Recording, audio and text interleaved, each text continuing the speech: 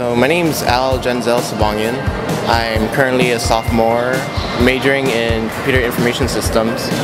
Uh, what I'm most excited for for this semester is to meet like new faces, the new the professors I haven't taken yet, and yeah, that's about it. Biba UOG!